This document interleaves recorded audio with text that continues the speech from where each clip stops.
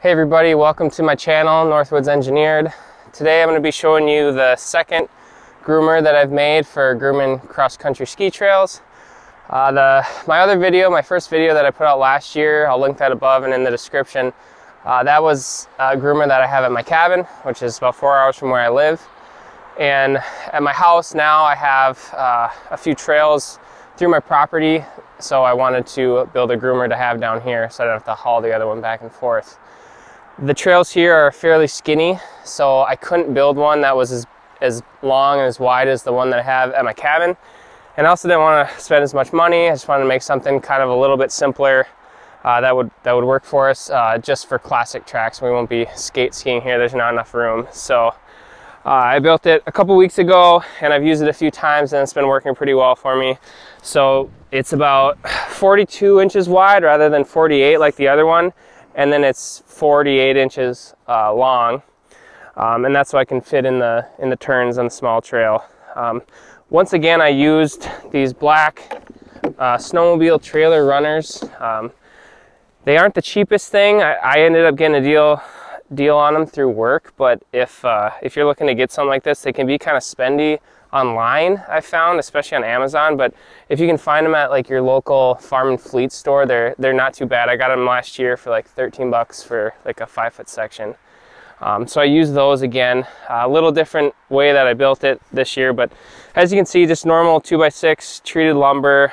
Um, this time I kind of just put some spans uh, across the back and then I bent I bent the runners over those rather than than cutting like individual boards like my last groomer and then cutting a radius on those. I just bent the runners over these uh, stringers. Um, same sort of uh, track setter on the back, but I connected it differently. So I used the exact same dimensions for the track setter pieces. Those are made out of 2x6s as well. Um, I just built a box, nothing special about that. And then I used some um, longer hinges right here to attach it. Um, cut an angle here so it, so it doesn't get caught up on the back. Um, that's been working well. It, th this groomer is a lot, a lot lighter than my other one. Um, you can pick it up easily. The other one, I, I, don't really even add weight usually, just I just add weight to the track setter. This one I've been adding weight. Um, I have some landscape blocks that I put in here or I've been putting 40 pound bags, two 40 pound bags of softener salt in and that seems, seems to do the trick. Uh, at first I didn't have any way to kind of groom the snow. I was really just packing the snow. Like on my other one, I have those angle pieces that will throw the snow back and forth to kind of groom it and then, and then I'll pack it after that. I didn't have that on here and it works when you have fresh snow, but then when you need to rejuvenate the trails or kind of rough up the old tracks. I didn't have anything, so what I did, I, I didn't want to make anything complicated. Uh, my other one, I just added a cutter bar made out of steel, but steel's super expensive. I don't have a welder at my house, so I had an extra piece of this runner material. So I just put a piece across at an angle and just cut these little fingers into it. So if you want to go over your trail, you, it'll cut right into the snow. It's, it's a few inches below the bottom of the boards. And um, someone commented recently about using an old truck bed liner for this, for the um, corduroy part, which you could do. I also saw a recent Facebook post of a guy that built one and he bought some like black corrugated drain pipe and put that across here and that would work too. Um, I like using this stuff. I like the, um, the texture that it leaves and then it's also, it's made to resist abrasion and for wearing. You know, it's made for snowmobile skegs to run across it and, and not get beat up. So uh, that's kind of why I've been using it, just because it should last, dragging it across the ground for a long time. Um, and like I said, I, I, I, got a deal on it, so um, it was kind of the thing I wanted to use. But I don't have a hitch for this one either at my house, so I just put a rope on it uh, with some eye bolts into the front, and then I just hook it to the back of the snowmobile. It doesn't work as well as a hitch. I don't like it, especially if you go, I have a couple little hills. So if you're going down a hill, it might slide into the back of you if you're not going fast enough. And then also around trees in the woods, it can, it doesn't keep it as straight as the, the um, steel hitch. But either way, it's been working pretty well and I'll, I'll deal with it here. But um, show you some videos of using it. I used it with some new snow. We have probably maybe 10 inches. Um, and then I'll show you how it works with the rejuvenating the, the old trail. So.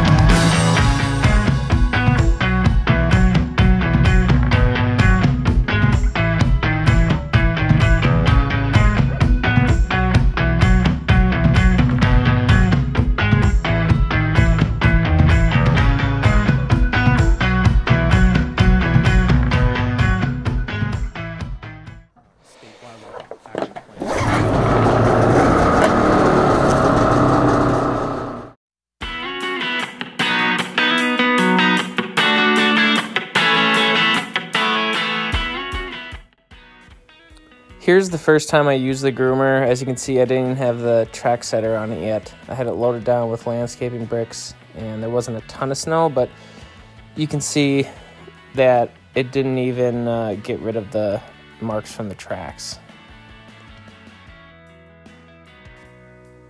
And here it is going over uh, an old tracked path from before. If you look at the front where those uh, fingers are, you can see that it's it's doing a pretty good job of uh, scraping scraping the old track out and uh, kind of getting a fresh layer out. It definitely scrapes the old snowmobile track, so it worked pretty well.